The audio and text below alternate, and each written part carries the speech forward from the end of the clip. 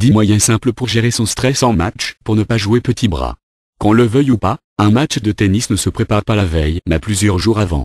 Il faut avoir la certitude d'avoir fait le nécessaire pour son corps et son esprit, afin qu'il puisse garder toute sa force et sache rester endurant, pour des matchs auxquels le temps n'est jamais défini à l'avance. Pour cela, il y a quelques précautions à prendre et quelques indications. 1. L'hydratation et la nutrition. On aura beau le dire et le répéter, on ne peut espérer aller loin dans un tournoi si le corps n'est pas physiquement bien préparé. S'il est certain qu'il faille une bonne nutrition en glucides et en protéines, il est plus que nécessaire de porter une grande attention à une très bonne hydratation du corps. C'est une des meilleures garanties pour éviter des claquages ainsi que des déchirures musculaires. C'est aussi la seule façon d'éviter une fatigue précoce pendant un match, et le stress consomme beaucoup d'énergie. Beaucoup de joueurs se préparent diverses boissons énergétiques. Il n'est pas rare de voir deux à trois bouteilles de boissons différentes à leurs pieds.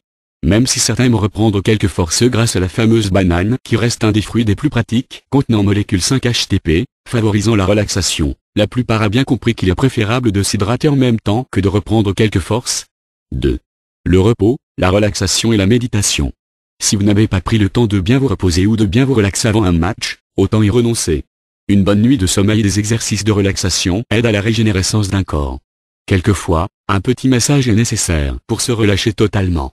Sachez vous entourer de vos meilleurs amis la veille d'un match tout en restant sobre et veillant à vous coucher assez tôt.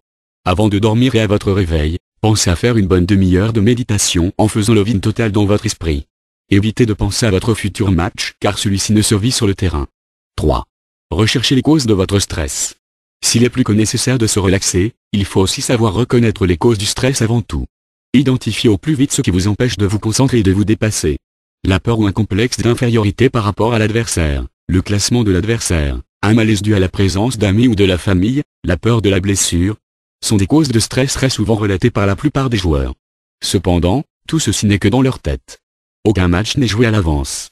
Encore une fois, cherchez les causes de votre stress et faites des exercices de relaxation et de respiration pour vous détendre. 4. Concentration sur la balle.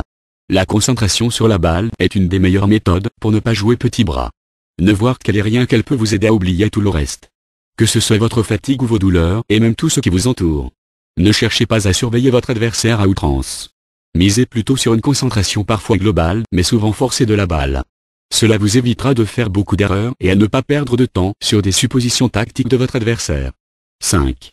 La respiration. Un des gestes des plus simples et des plus difficiles à faire? Un dicton dit, qui sait respirer, peut tout faire.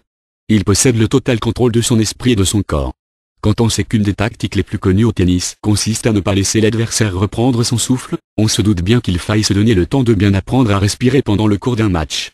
S'il faut faire énormément d'exercices de respiration avant et après un match pour se détendre et pour se reprendre, il faut savoir constamment, pendant tout un match garder une respiration soutenue pour ne pas manquer d'air lorsqu'il faut se déplacer à grande vitesse. La respiration fait donc bien partie de l'entraînement. 6. La gestion des petits pas et la checklist tactique. Une bonne technique, favorisant également la concentration, consiste à accentuer les petits pas d'ajustement. Cela sert particulièrement à se mettre en place au bon endroit sans se fatiguer. Il est plus certain de faire une heure de jogging qu'une heure de sprint. Dans ce contexte, c'est la même chose. Les petits pas servent à se repositionner sur le terrain sans trop demander d'effort physique. Une bonne manière de rester endurant en attendant des attaques plus dures de l'adversaire. Cette technique est également utile en retour de service. Une bonne solution pour ne pas jouer petit bras aussi consiste à avoir une liste de tactiques bien rodées dans votre esprit, qui ont fait leurs preuves et qui peuvent vous servir à tout moment. Par exemple, ne pas tenter les retours gagnants si l'adversaire ne monte pas au filet. Se concentrer sur la trajectoire du service afin de le retourner. Essayez de faire des as au moment du tie-break. Abusez de l'amorti lorsque vous êtes en position offensive, il serait intéressant pour vous de vous faire une liste des tactiques qui vous sont le plus favorables et qui vous rapportent des points plus facilement. À vous de voir ce qui vous convient le mieux pour cela. 7. La distance par rapport à l'enjeu et l'issue du match. Il arrive parfois que des joueurs se lancent des défis avant le match en se fixant des objectifs tellement importants qu'ils en oublient presque le plaisir du jeu. Se mettre la barre un peu trop haute avec, pour seul but, d'y arriver coûte que coûte, ne peut que vous soumettre à une pression beaucoup trop forte et donc, finir par vous nuire. Laissez-vous d'abord le temps de tâter le terrain pendant les premières minutes du match. Ne vous donnez d'objectifs que par rapport à vos premières sensations. Tout doit se faire dans le présent. Après réflexion, relativisez de sorte à garder les pieds sur terre. Le défi réel est en vous, pas face à vous. Il ne sert à rien de mettre la charrue avant les bœufs. Et surtout, sachez prendre du plaisir à combattre pendant un match. Autrement, même si votre adversaire est à un coup de remporter le set, rien n'est joué. Ne laissez jamais tomber. Sachez garder confiance car, c'est grâce à elle que vous pouvez faire comprendre à votre adversaire qu'il n'est pas question de lui céder la moindre part. Restez attentif à la moindre opportunité qui se présente. Souvent, une trop grande confiance de l'adversaire peut lui soustraire un peu de vigilance. Ce sera à vous de veiller à en profiter au bon moment. C'est une simple question d'attention. 8. Oubliez les fautes. Ne vous focalisez pas sur vos fautes, oubliez-les. Les meilleurs joueurs du tennis font des fautes à chaque match. Il vaut mieux apprendre à chaque fois que vous en faites une la façon dont celle-ci est arrivée, que de lui donner une quelconque importance qui vous brimerait l'esprit et vous empêcherait d'avancer. Il faudrait savoir relativiser pour toute chose et à tout moment. 9. Trouver des parades aux pensées parasites.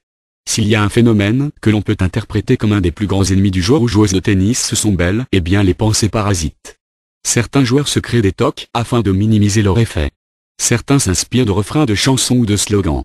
D'autres préfèrent avoir des tics pour les effacer de leur esprit. Tout est bon pour les chasser.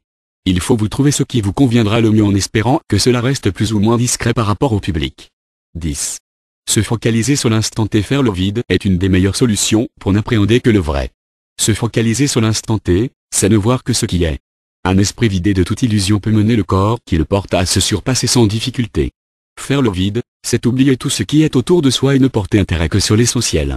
Si vous voulez gagner, portez beaucoup d'attention pendant votre entraînement à ne laisser aucune pensée traverser votre esprit et à rester focalisé sur le jeu en entier. Conclusion.